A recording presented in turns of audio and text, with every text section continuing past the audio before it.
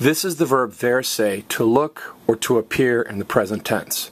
Now this is strange because ver all by itself means to see. And we've talked about I can see her but she's very far away. And se means oneself. So it looks like to see oneself, okay? Um, it's tricky. It's just one of those verbs. It doesn't really make sense, but you just have to memorize it. You actually hear it quite a bit, like uh, te ves muy bonita, you look very pretty, or te ves cansada, you look tired.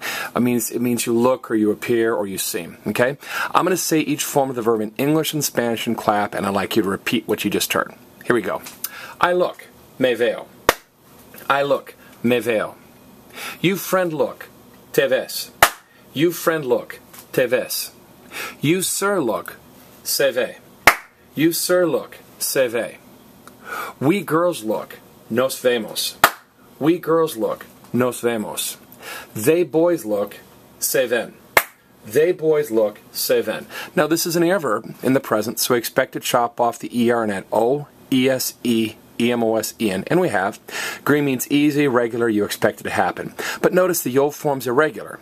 On the yo form, you don't just chop off the ER from ver and say yovo. just for fun once. Somebody say yovo, yovo.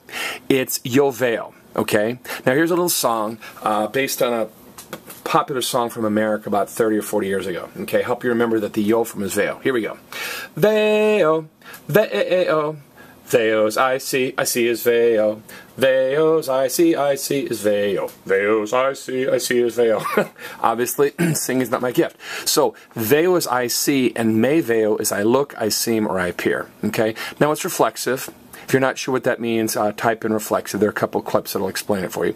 And remember, the se turns into me, te, se, nos, se, hooray. Take it down now. Me, te, se, nos, se, hooray. So, Pretty easy verb, it's reflexive, the yo form's the only one that's uh, irregular. Okay, good luck with verse.